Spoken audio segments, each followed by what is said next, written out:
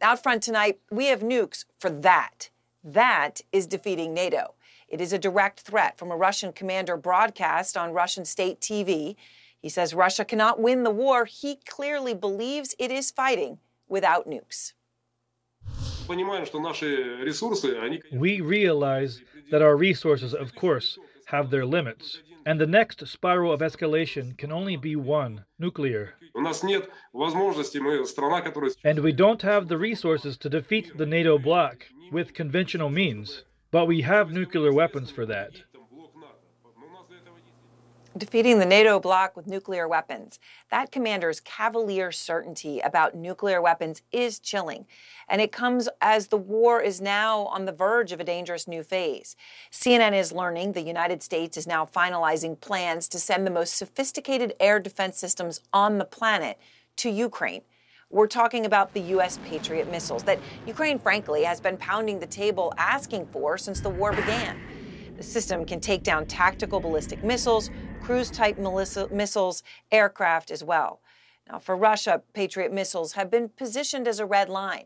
The former Russian president, Dmitry Medvedev, has warned NATO against providing Ukraine with them, saying that if NATO did that, the Western alliance would immediately become a legitimate target of Russian armed forces. Those are powerful words. And based on Medvedev's words, Putin clearly views this move as an escalation. All of this news coming as air raid sirens blared across all of Ukraine today.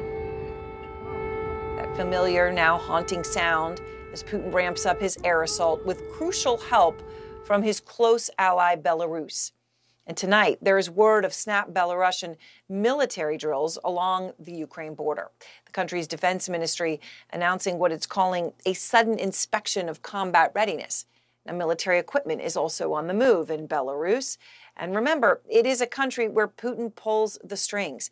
Just four days ago, here he is appearing alongside the Belarusian president, Alexander Lukashenko. That is at an economic summit.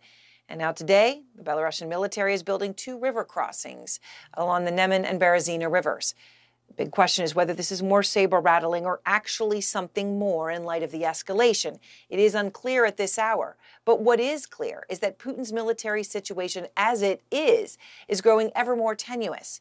And out front now, Douglas London, former CIA counterterror chief for South and Southwest Asia. He's a Russian speaker who served with the CIA clandestine service for over 30 years, tracking KGB agents.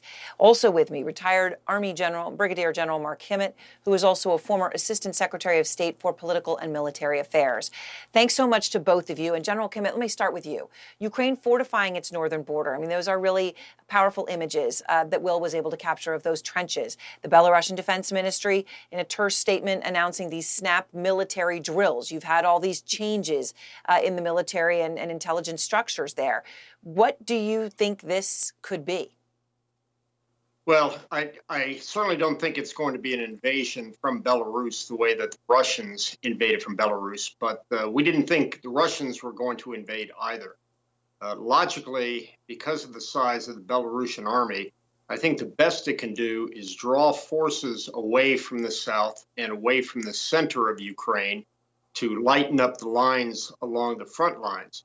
I think it's important to remember that when the Ukrainians did their counterattack during October, they actually feinted. They actually looked like they were going from the south, but their main effort was in the north. So this actually could be a mm. feint uh, so that the uh, Russians could actually increase their fight in the south. But as for an attack by Belarus, I just don't see it making any sense at all. So, Doug, the, the context here, of course, is that the, the, the clock is ticking, right? That the temperatures are are below freezing, well below freezing, and the clock is ticking. An independent new, Russian news outlet, uh, you know, we were playing that conversation a moment ago, right? But an independent news outlet is reporting that the wives of mobilized Russian troops are complaining, and they're complaining their husbands are getting really sick from the poor conditions that they're living under. In this case, at a Siberian trading camp. They say they're living in tents heated by wood burning stoves. Temperatures are well below zero. That any medicine that they have, they actually brought themselves, and that they are not being properly trained. I mean, it, it, it goes on and on, right? This is in the Baikal Times, so this is in a Russian paper. And then one of the wives says, Douglas, and this is the thing that really stuck out to me. Quote, we believe that all this is needed for a just cause. We are proud of the guys. We don't blame the authorities. So even with all this, even with that call we heard, they, they, they take all that anger and frustration, the absurdity and the of their situation, and they don't turn on Putin. What does that tell you? Well, first of all, good evening, Erin. Um, it's not surprising. It's been consistent with what glimpses we've seen of Russian society that they'll complain about the mechanics of what's going on in the war, but they seem to buy into Putin's narrative that Ukraine represents a significant threat, an existential threat, perhaps. It's Nazified, and you don't really see a lot of popular disenchantment about fighting Ukraine. You see more just complaints about how the Russians are fighting it. And you also see a great effort to deflect any criticism directly from Putin and putting it on the apparatchiks, you know, the bureaucracy, the army. Mm-hmm. Which, which gives him more latitude. And, and General Kimmitt, as Russia continues to bombard Ukrainian cities, right? You hear those those air raid sirens uh, across the country. Uh, barrages of missiles come in now with, with with some regularity here. CNN is exclusively reporting that the Biden administration is preparing to send those the Patriot uh, defense system, the most sophisticated air defense systems on the planet. That is the long range Patriot missile system. What would that mean to Ukraine's ability to fight off Russia's air attacks, putting aside that Russia has said that that would uh, be a legitimate reason to target NATO itself by Russia. What would it do for Ukraine's defenses? Well, it would do two things. Number one, it would significantly alter the ability of the Russians to send cruise missiles and tactical ballistic missiles into Ukraine. But more important, it would be it would bolster the civilian population inside of Ukraine right now. Uh, let's be very clear. Uh, Putin is no longer targeting the Ukrainian military. He's targeting the Ukrainian people, their infrastructure, uh, their electricity. Uh, he is taking the fight to the people. So putting the Patriot missiles in, uh, in my view, is a wise movement because this deflects uh, and mitigates, but does not eliminate Putin's ability to take his war to the people inside of Ukraine. Doug, last night I spoke with the recently departed U.S. ambassador to Russia, John Sullivan. So this is somebody who, you know, recently saw Putin up close. Right, he was in that role for more than two years under Presidents Trump uh, and Biden, and and he he was with Putin directly personally in that time. So I asked him about the speculation that we all see about Putin's health.